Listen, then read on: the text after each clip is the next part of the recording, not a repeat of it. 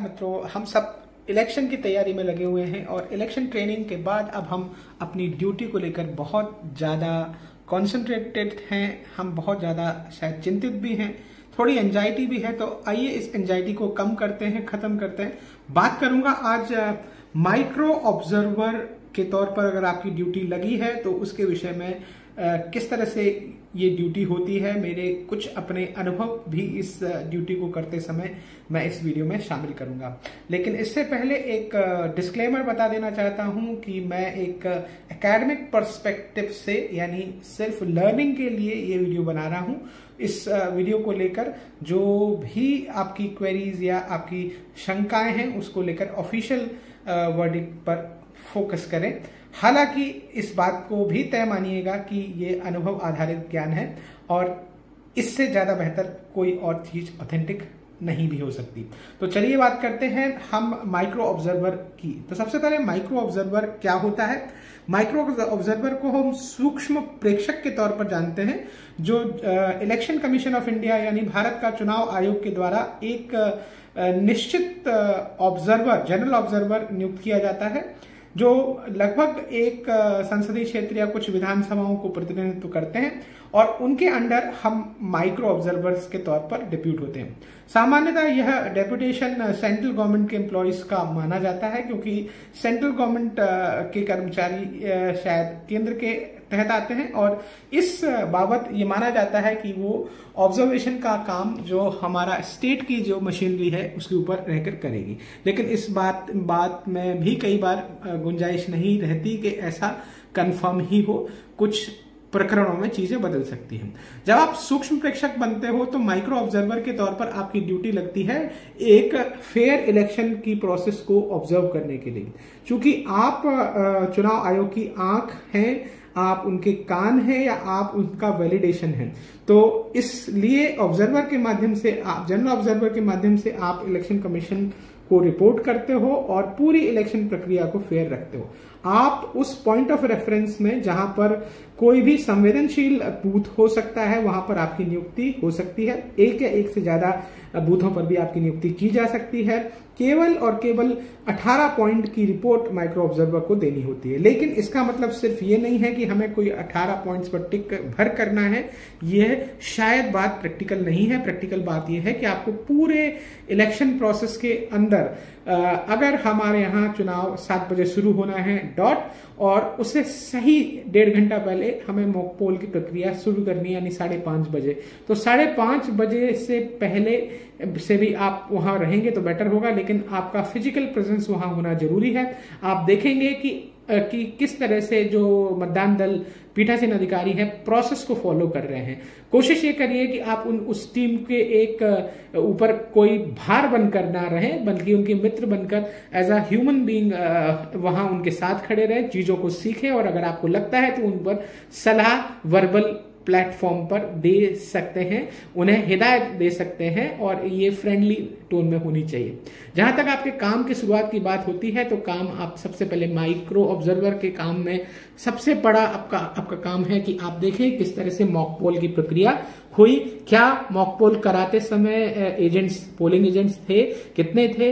Polling agents ने उस प्रक्रिया को देखा। मॉक पोल निर्धारित अवधि में तय कर लिया गया, उसके बाद मशीनों को प्रॉपर तरीके से पैक करके सील करके प्रॉपर टाइम पर इलेक्शन शुरू हो गया। और अगर आपने या आपकी टीम ने ये सब कर लिया तो 50 टू 80 परसेंट मतदान सक्सेसफुल हो जाएगा, इस बात की गारंटी है, ये मैं अनुभव से कह रहा हूँ। पहला वोट जब पढ़ने का समय हो तो आप पीओ से बोले, या उनकी समझाइश दें, या वो जानते भी होंगे कि उन्हें सही डॉट सात बजे अगर कोई व्यक्ति पंक्ति में है तो उसको कमरे में ले ले लेना है और प्रैक्टिकली कोशिश करिए सात सात एक के आसपास पहला वोट अगर सब कुछ स्मूथ चल रहा है तो कर लीजिए। इस बात को लेकर कि आपको मशीन्स को कैसे कनेक्ट करना है, ये मैं ऑलरेडी अपने कुछ वीडियोज़ में बता चुका हूँ, आपके पास और भी माध्यम होंगे, उनसे भी इस बात को वेरीफाई करके अपनी ईवीएम्स को कनेक्ट करिए, उनको वर्किंग मोड में लाइए, व्यवस्थित रखिए, और उसके बाद मॉक पोल के बाद पर्चियों को, जो पर्चियाँ निकली हैं, उनको काले दस्तावेज़ में रखिए, सब कुछ सेट करिए, उसके बाद सीलिंग करिए। सीलिंग वर्क करते समय ध्यान रखिएगा, हमें किसी भी हाल में क्लोज का बटन नहीं दबाना है। सीआरसी का मतलब आप सब जानते हैं सीआरसी करना एक बहुत इंपॉर्टेंट एक्टिविटी है जहाँ पर क्लोज रिज़ल्ट और जिसे कहना चाहिए, आप सॉरी क्लियर रिज़ल्ट और क्लोज की बात करते हैं। तो क्लोज वाला सी लास्ट में ही दबेगा, अन्यथा काम नहीं होगा। उसके अलावा वीवीपैट से सात पर्चियाँ नॉर्मली निकलती हैं और पचास पर्चियाँ निकलेंगी क्योंकि आपको पचास वोट डलवाने हैं।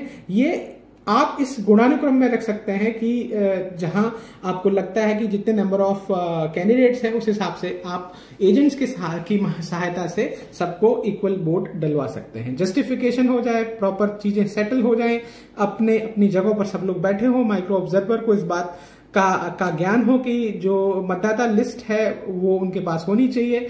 आपको एक और चीज़ जो नोट नोट करनी है, वो घंटे बार मतदान का प्रतिशत महिला कितनी, पुरुष कितने, ये शायद number two polling officer two आपको आपको बता देगा। नहीं तो आपका अपना इंटेलिजेंस है। चूँकि आप एक लंबी ड्यूटी वहाँ पर दे रहे हैं तो मेरा समझाइश ये है, ज्ञानार्जन ज़्यादा ज़रूरी है। इन्वॉल्वमेंट ज़्यादा ज़रूरी है। चीज़ों को देखिए, सीखिए। कहीं कोई गफलत हो रही हो तो उसे करेक्ट करा सकते हैं। और चीज़ों को देखकर सीखने का जो अनुभव है वो कुछ और ही रहता है। जब आ, कोई विजिटिंग विजिटर आता है क्योंकि माइक्रो ऑब्जर्वर के तौर पर जनरल ऑब्जर्वर या उनके सहायक आपसे मिलने आते हैं आपसे कुछ स्टेटिस्टिक्स मांगते हैं और घंटों के हिसाब से आपसे वोटिंग परसेंटेज मांगा जाता है। मतदान बूथ पर यह निश्चित तौर पर रहता है कि आपके पास कितने वोटर्स हैं कितनी महिलाएँ कितने पुरुष या कितने लोग ए, जो है एबसेंट डेथ या शिफ्टेड है एडीएस के अंदर है वो सारी चीज़ें आपको पता होती हैं। इलेक्शन करते समय आप किसी भी तरह की झुंझुलाहट से, किसी भी तरह की जल्दबाजी से ज़रूर बतें लेकिन आलसपना का काम नहीं होना चाहिए। एक टीम वर्क है, टीम वर्क को लेकर लोगों को मोटिवेट कर सकते हैं। एक अच्छे इंडिविजुअल होने का परिचय ज़रूर दें। एक व्यक्ति के तौर पर उन लोगों की जो भीषण गर्मी में आपके साथ काम कर रहे हैं, इलेक्शन मशीनरी है, या वो वोटर जो शायद इस लोकतंत्र को बढ़ाने और उसे संवारने के लिए आपकी तरह ही रिस्पॉन्सिबल है, उनको भी इंकरेज करें। एक साफ़ सुथरे वातावरण में काम करें कोशिश करें कि इलेक्शन प्रोसेस बहुत अच्छे से रेगुलेट हो। वोटर परसेंटेज शाही को लग, लगाया जा रहा है। एंट्री सही हो रही है। इस बात को अगर आप दो तीन बार क्रॉस चेक करेंगे तो आपकी एक फाइन ट्यूनिंग हो जाएगी और आप दो तीन घंटे के बाद आप देखेंगे इलेक्शन बहुत अच्छे से चल रहा है। किसी भी तरह की आपत्तिजनक स्थिति को ऑब्ज़र्व करें लेकिन 200 मीटर 300 मीटर 500 मीटर कोई हो हल्ला अगर हो भी रहा है तो कोई बहुत बुरी बात नहीं है। आपको पीठासीन अधिकारी के साथ भी कनेक्शन में रहना है। एक दो जगह वहाँ पर आपके साइन होंगे वहाँ आप साइन अवश्य करवाएँ और खुद भी साइन करें। और इसके अलावा कुछ घोषणाएँ जो है, पीठासीन अधिकारी देवन वन पर करेंगे। अगर आपकी उपस्थिति उस समय वहाँ होती है तो कोशिश करिए चीज़ों को ऑब्ज़र्व करें। इलेक्शन का एक टूरिज़्म भी होता है तो उस टूरिज़्म के कॉन्टेक्स्ट में एक टूरिस्ट बनिए, चीज़ों को आनंद लीजिए। वहाँ की शाम जब हम इलेक्शन कराने जाते हैं, किसी गाँव में, किसी स्कूल में जब हम रुकते हैं तो एक अलग अनुभव होता है। इस अनुभव के विषय में भी अपने वीडियोस के साथ बात करूँगा। लेकिन गंभीर बात यह है कि इलेक्शन एक नॉर्मल वर्क नहीं है, एक स्पेशल वर्क है, इसलिए स्पेशल अटेंशन की भी ज़रूरत है। ज़्यादा रिलैक्स भी नहीं होना है। हमें रिलैक्स रहते हुए अटेंटिव और अलर्ट रहना है। खाने पीने का ध्यान रखते रहिए। हल्का अपनी ऐसी प्रिपरेशन रखिए जिसमें आप अपने साथ कुछ खाने पीने का सामान रख सकते हैं। पानी आपको आवश्यकता अनुसार पीते रहना है डिहाइड्रेट नहीं होना है और एज एंड वेन आपको अपनी पोलिंग टीम की हेल्प करनी है।